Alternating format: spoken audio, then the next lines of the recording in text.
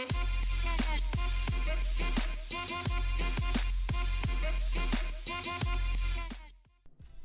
Hallöchen und herzlich willkommen heute mal wieder zu einer Folge Minecraft Get Down auf die Rötzer.tv Server. Das Ganze ist nachkommentiert, weil ich mir dachte, hey, ich hatte mal Bock irgendwie so ein paar Tests zu machen, so in der Art ein bisschen auch Real-Life-Stuff und das einfach mit so ein bisschen Minecraft-Hintergrund begleitet. Lasst auf jeden Fall mal eine Bewertung da, wie ihr sowas findet, weil das ist ja schon mal ein bisschen was Neues. Und ich habe heute für euch den Wissenstest Liebe und Sex. Und den werde ich mit euch mal durchgehen. Der hat insgesamt 15 Fragen und ich bin mal gespannt, ob ich da alles weiß. Frage 1 von 15. Typisch Mann. Mehr als die Hälfte von ihnen denkt täglich an Sex. Und die Frauen? Die tun etwa die Hälfte, jede fünfte, nur jede zehnte. Ich würde sagen, das ist gleich so. Bloß Männer geben es eher zu als Frauen. Die sind halt noch so ein bisschen bedachter mit ihrer Ausdrucks falsch jede fünfte. Da steht sogar noch eine Lösung dazu.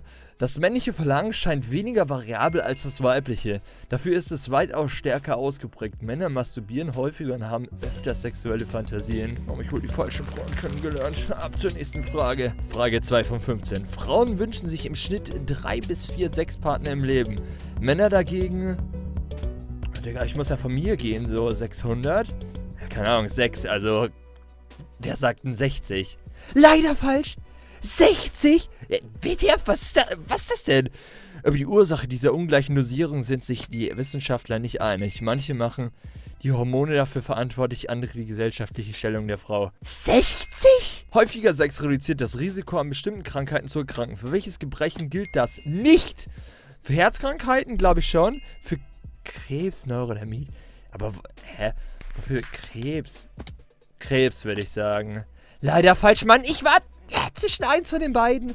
Forscher haben herausgefunden, dass ein reges Sexualleben gesundheitlich positive Auswirkungen hat. Für Neurodermitis ist die Wirkung allerdings bisher nicht belegt. Ja, erklärt natürlich auch, warum ich immer so gesund bin. Ich bin die Hälfte des Jahres krank. Die weibliche Sexualität ist vertrackter als die des Mannes. Wie viele Frauen haben beim Sex nie zum Höhepunkt? Bei mir wären es ja dann... Oh, shit, 100% steht ja nicht da. Ich würde sagen, 10% sogar. Ne, warte mal, wie viele Frauen kommen beim Sex nie zum Höhepunkt? Dann würde ich sagen 45. Leider falsch, Digga. 16%. Wer tippt denn auch 16% an? Laut einer umfangreichen britischen Studie kommen auf der anderen Seite 14% der Frauen beim Geschlechtsverkehr immer zum Orgasmus. 32% kamen an nur jedes vierte Mal zum Orgasmus. Wie nennt man Menschen, die das Gefühl haben, im falschen Körper zu leben? Also Männer, die lieber Frauen werden und umgekehrt. Transsexuelle sind doch schon Leute, die sich umoperiert haben, oder? Und Transvestiten sind die das denken, ne? Oh mein Gott. Also eins zwischen den beiden, wenn es jetzt intersexuell ist. Keine Ahnung, Digga, was intersexuell ist. Leider falsch. Transiger. Digga! Oh mein Gott, ich sag ja richtig rein. In Deutschland gibt es zwischen 10 bis 20.000. Wow, da ist echt viel, da lernt man sogar noch was. Dunkelziffer dürfte weit höher liegen. Oft bleibt nach Psycho- und Hormontherapie nur noch eine OP als letzter Ausweg aus dem Dilemma. Transvestiten dagegen begnügen sich mit dem Tragen gegengeschlechtlicher Kleidung. Ach, das sind so Crossdresser. Eine dauerhafte Geschlechtsumwandlung streben sie nicht. Ah, okay. Da, ja, ich, ich, für mich sind das Crossdresser, alles klar. Die meisten Tierarten pflanzen sich zweigeschlechtlich fort, aber nicht alle. Bei wie vielen Tierarten gibt es nur Weibchen? Keine Ahnung, Mann. Eins? Ich hab, ich hab echt absolut keinen Peil. Leider falsch 1000. Wow. Rund 1000 Tierarten, darunter Insekten, Krebse, Fische, Eidechsen, aber zuweilen auch Truthühner kommen bei der Vermehrung ganz ohne Männchen aus. Man spricht auch von Parthenogenese, Jungfernzeugung. Bei dieser Form der Fortpflanzung wächst aus einer unbefruchteten Eizelle im Leib des Muttertiers ein Tochterindividuum heran. Wie viel Geld wird in Deutschland jährlich mit Prostitution umgesetzt? Boah, also wenn ich jetzt von mir ausgehe, gell? Also ich gebe ja so monatlich 2.000 bis 3.000. Ist es jetzt auf ganz Deutschland hochgerechnet? Das sind ja dann, Deutschland leben ja fast 10 Millionen Menschen, oder? nicht, dass ihr denkt, ich bin wirklich so dumm. Ich würde aber sagen, das ist schon ziemlich viel. Boah, ich kann das überhaupt nicht einschätzen, aber schon so 950 Millionen vielleicht. Ah, doch, ich tippe 950, leider falsch. 14,5 Milliarden Euro! Digga, was ficken die denn alles rum? Dieses Geld wird von rund 400.000 Prostituierten erwirtschaftet. Jeder fünfte Mann hat hierzulande schon für bezahlt. Wir rechnen das jetzt mal aus, ja? Und zwar 14,5 Milliarden geteilt durch 400.000 Beachgas sind ja dann, achso, ihr seht das gar nicht, 36.250 machen die im Jahr, ja? Geteilt durch 12, die machen also 3.000 Euro im Monat geteilt durch 24. Also sie haben Stundenlohn von 126 Euro. Das ist nicht schlecht. Da muss ich ja auch mal hier überlegen. Wie viele Gene entscheiden über das Geschlecht eines Menschen? Sind das nicht diese Chromosome? Sexualkunde nicht aufgebaut. Ich würde 7 sagen, glaube ich.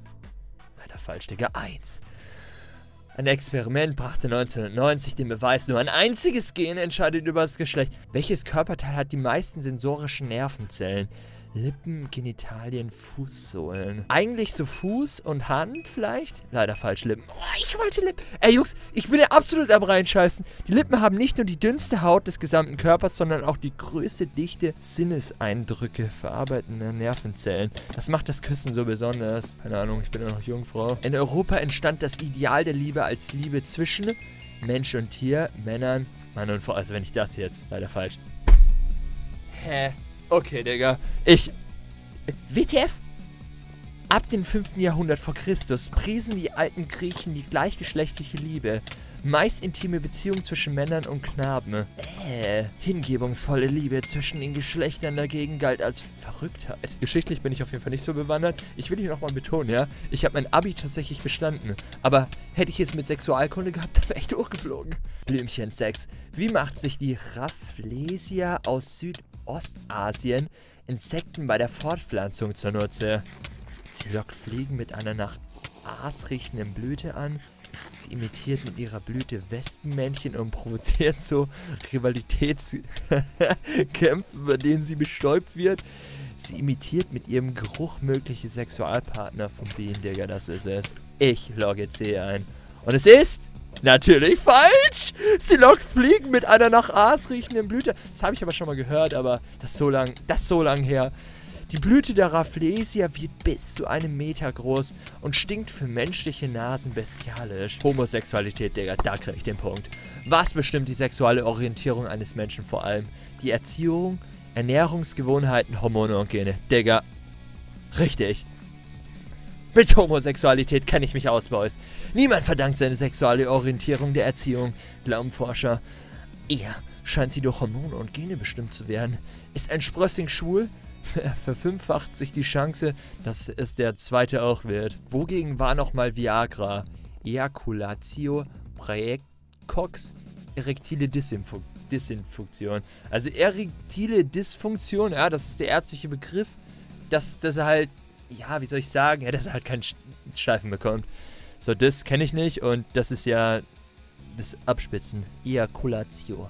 Hört sich gut an. Also, Digga, da, da logge ich auch ein, so richtig. Richtig.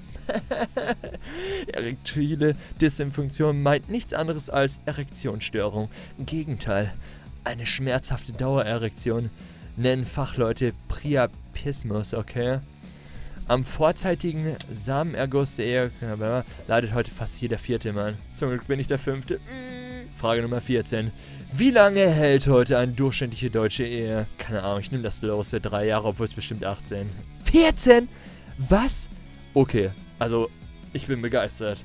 Ich bin begeistert. Sex wird zwar im Schnitt mit den Jahren weniger wichtig, findet aber auch nach langjähriger Partnerschaft noch statt. Und wird manchmal sogar besser, weil beide Partner entspannter damit umgehen. Im Jahr 1815 dauerte eine durchschnittliche Ehe übrigens 20 Jahre. 20 Jahre im, im Schnitt? Masochismus. Jedes Jahr gibt es in Deutschland rund 100 Todesfälle. Ist halt, keine Ahnung, ich, ich finde das manche Sachen echt zu extrem. Durch Ersticken, durch Verbluten, durch Herzversagen. Also ich würde sagen, eher durch Ersticken als durch Verbluten. Ne? Weil, keine Ahnung, Masochismus sehe ich jetzt nicht so, als würde man einen irgendwie aufschlitzen, sondern Masochismus ist doch auch so dieses, ja geil, euer Fick mich. Ja, also keine Ahnung, ich würde tatsächlich sagen, durch, durch Ersticken. Ja, obwohl, aber irgendwann ja, das ist jetzt halt. Ey, wenn's Herzversagen ist, dann aber. Obwohl Herzversagen kann natürlich auch Nee, kann nicht sein. Ich sag, ich sag ersticken. Oh, ich, Max, mit diesen Sachen kennt er sich aus. Manche Masochisten lassen sich die Kehle zuschnüren, um durch verminderte Sauerstoffzufuhr zum Orgasmus zu kommen. Die Selbststrangulation ist allerdings äußerst riskant. Also wir haben uns auf jeden Fall gut geschlagen. Da schauen wir gleich mal rein. Drei von 15 möglichen Punkten. Das war wohl nichts. Versuchen Sie es doch noch einmal. Was sollte ich groß dazu sagen? Ich kann auf jeden Fall nur sagen, dass der Test mir definitiv Spaß gemacht hat. Lasst auf jeden Fall mal ein Like da und einen Kommentar, wie viele Fragen ihr denn richtig beantwortet habt und wie ihr eigentlich so mit diesem sexuellen Thema seid. Ich denke mal, diese, dieses Video könnte ziemlich verstörend für den einen oder anderen sein.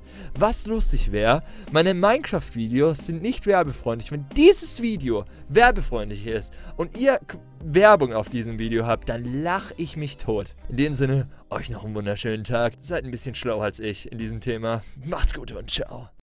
Cranky Capone, Cranky Capone, Cranky Capone, yeah.